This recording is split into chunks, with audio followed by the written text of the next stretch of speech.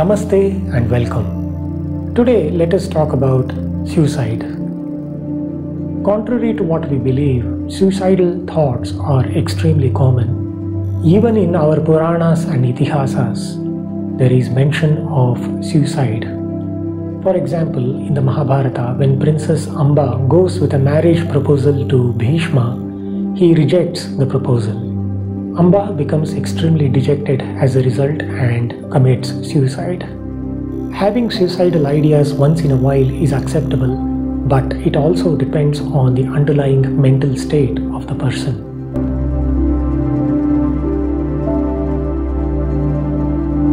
Suicidal ideas worsen in frequency and intensity, and therefore the risk of suicide also increases in certain conditions. If you have a chronic debilitating or painful medical condition, then suicidal ideas may occur more frequently. Likewise, if you are suffering from mental illnesses, especially depression and schizophrenia, suicidal ideas and suicide attempts increase. Being addicted to substances such as alcohol or other drugs also increases the risk of suicide. Socially, facing difficult circumstances such as losing one's job or having financial difficulties increase the risk of suicide attempts. Family and relationship difficulties such as marital problems or being divorced or separated also increases the risk of suicide attempts. In the child and adolescent age group, not getting the expected marks in the exam or failing the exam increases the risk of suicide.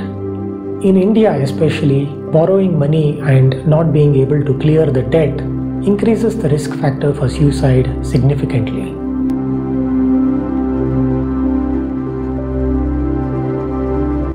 Warning signs of suicide include things such as worsening medical problems or psychiatric problems, such as worsening of mood due to depression and worsening of psychotic features due to schizophrenia. If a person is constantly under the influence of drugs and alcohol, this also may indicate that he or she may have high suicidal tendencies.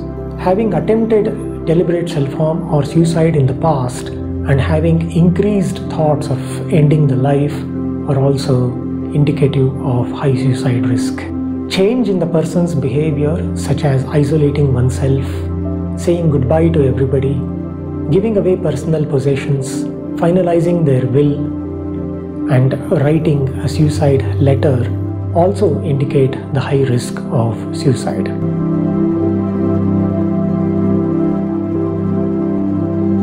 If you are having frequent suicidal ideas, it is always better to communicate about your inner feelings with a close friend or a relative. If you have nobody to talk to, you can sit quietly and talk to your own self about all the issues that you are facing. Also consider writing a personal diary or a journal where you can record all the positive attributes that you have which will help you deal with the crisis that you are facing it is highly advisable that you address the underlying problems, such as if it is a medical problem, please take treatment for the same. If you have psychiatric illnesses such as depression or schizophrenia, take treatment for the same.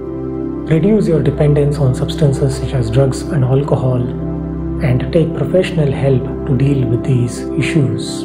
This will help reduce the suicidal thoughts that you are having. Address your financial issues by discussing it with the right people. If you are experiencing relationship or marital issues, speak to a counselor who will be able to help you with these issues. Please also remember that there are several suicide helplines that you can call at any time and discuss your problems and seek help. I have included a list of all the suicide helplines in the description of this video. Please have a look.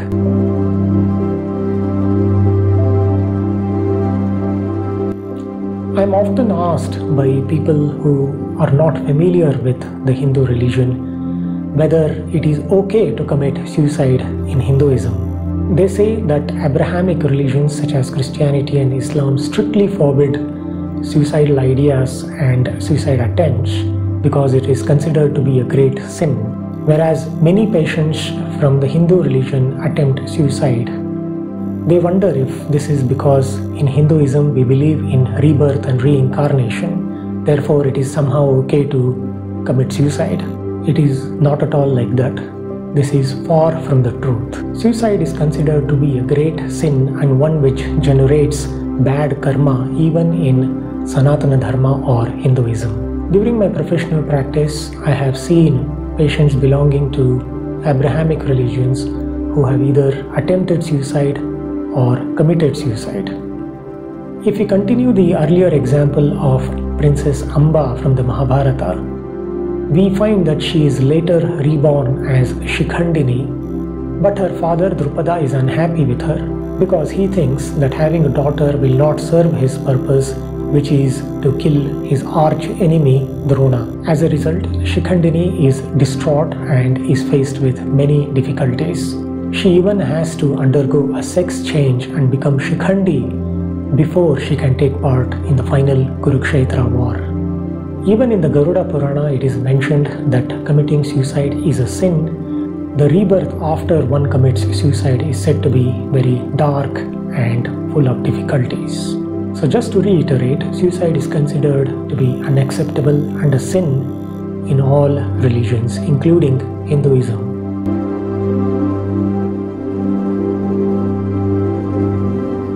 Many people falsely believe that committing suicide is an act of bravery.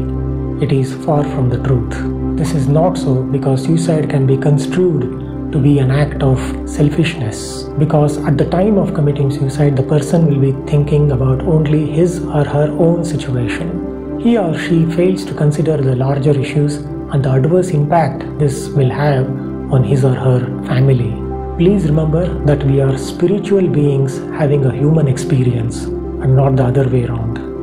We are here on this earth due to karma, and each of us will have to undergo testing and training during our lifetime. Therefore, if you are faced with any problems, look at the larger issues. Your problem is always going to be much smaller than the larger purpose of your life. Every problem that you are faced with is an opportunity for you to learn from the problem and become a better version of yourself. Avoid negativity and negative people of all sorts.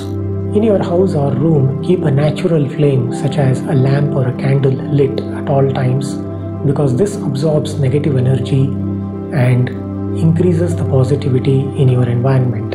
You can also pray to the Almighty to grant you wisdom and strength to bear the difficulties that you are facing and come out stronger.